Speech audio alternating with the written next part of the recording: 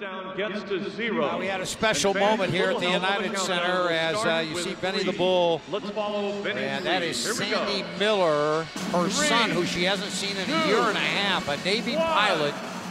And all of a sudden, watch the expression. Priceless. Yeah, absolutely. He's been stationed on the USS George Washington in Japan as a pilot for the U.S. Navy. She hasn't seen her son in a year and a half, and so they brought her down here under the pretense that she was going to uh, shoot a shot to try to win some money, and instead, when Benny pulled the blindfold off, there was her son. A very touching moment here at the United Center.